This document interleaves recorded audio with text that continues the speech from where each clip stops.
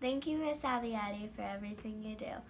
I really appreciate um, when I don't understand something in class, you take your time to teach it to me. Thank you for being my teacher.